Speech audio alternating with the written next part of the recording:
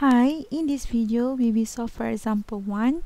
If x is binomially distributed by 80, 0.3, use the normal distribution to approximate the binomial distribution for all the following questions. Why we have to approximate binomial to normal distribution? Because our n is greater than 50. Okay, so we have to do approximation. Okay, to solve this question, we have to use the the table of three, which is table of standard normal distribution. Okay, let's proceed to example A. Okay, for probability x is equal to 14, so we have to uh, exchange, uh, we have to approximate binomial to normal. So, x, b, 80 0.3 and we have to approximate to normal so change to n. To get this you n times p 0.3 to get variance and pq 0.7 okay so for n normally distributed you got 24 and 16.8 Okay, so to solve this question, we have to approximate because of this. Because our n is greater than 50.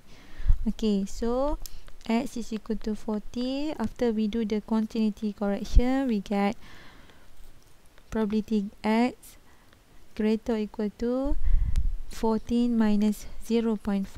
For less or equal to, we have to plus 0 0.5.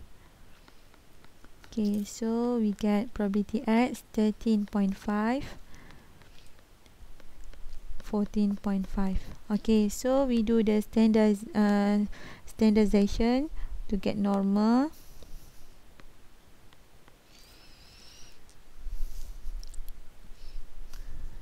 So probability 13.5 minus 24 divided by square root of 16.8 okay becomes z 14.5 minus 24 divided by 16.8 okay so we get the answer. Probability z. Uh, greater or equal to negative 2.56 less or equal to negative 2.32 okay we have to take two decimal place only. Okay so after we get the the value so we make a a graph of normal. Okay so our value is negative side so we put the our value negative 2. 5 6 negative 2.32 so our probability is here. Okay so it is equal to positive side.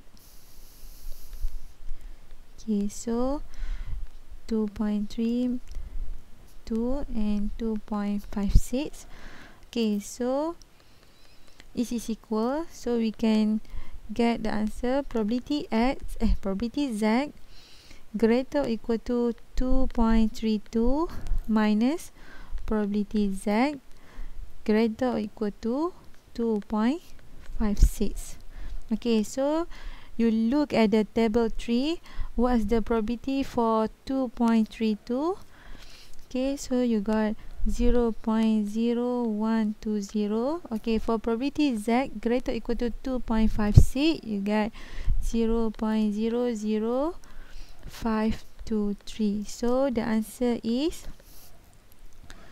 0 0.00497 okay so we proceed to the next question. For probability x greater or equal to 14 eh 15 so we have to do continuity correction for this one. Okay if you didn't remember you put a number line 15 uh, greater or equal to. So we have to go to the right. So you have to make uh, continuity correction before 15 so minus 0.5 so you got here probability x greater or equal to 15.4 okay after we do the continuity correction we do standardization probability z 14.4 minus 24 over square root of 16.8 okay so we get the answer. Negative 2.32 okay so after we get this answer we make a graph to know the position of uh, z. Okay so z greater negative 2.3 so negative so this side negative 2.3 and the region is here because to the right. Okay so it is equal to 1 minus uh, this side is it equal? Is equal right 1 minus this side you got this one. Okay so 1 minus uh, 2.32 negative. Okay so is equal uh, probability z less or equal to negative 2.32 okay probability z less or equal to negative 2.32 is equal to probability z greater or equal to 2.32 so you got 1 minus. Okay the value of 2.32 0 0.00523 so you get 0 0.99 48 the last answer you have to make four you have to take four significant figures okay okay we proceed to next one. Probability x greater than 16 okay the symbol is greater than. So we have to make the symbol greater or equal. So you got probability x greater or equal to 16 after the symbol have the equal to and then you can do continuity correction. Okay so 17 to the right. Okay so we have minus 0 0.5 okay so your continuity correction probability x less or greater or equal to 16.5 and then we do the standardization. z greater equal to 16.5 minus 24 divided by square root of 16.8 okay so we get the value of z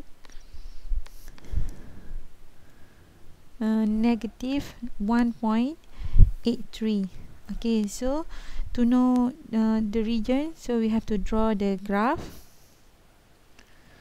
Okay so uh, negative uh, the answer is negative so we put the negative side negative 1.83 okay so uh, the symbol is greater or equal so it is the region. Okay so is equal to 1 minus this one right? Okay so this one is equal to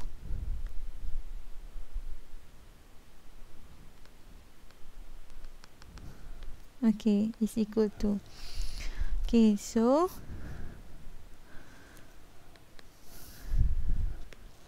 one minus probability z uh, greater equal to 1.83 so look at the table 3 what's the probability for 1.83 so you get um, 0 0.0336 so the answer is 0 eh, sorry is correct. 0 0.6994 okay the third one uh, probability x less or equal to 17 okay so uh, less or equal. So make a number line 17 to the left. Okay so you have to do continuity correction before after 17 so we have to plus 0 0.5 so you got probability x less or equal to 17.5 and then we do the continuity we have do the continuity correction. And then we standardize probability z 17.5 minus 24 divided by square root of 16.8 16.8 and then you get probability z um, negative 1.59 okay so you make a graph and to know the region. Okay negative side also negative side 1.59 and the region is less or equal. So to the left. So this is your region. Okay this is equal to positive side. 1.59 so your answer probability z greater equal to 1.59 so look at the table 3 to get the answer. So your answer is 0 0.0559 okay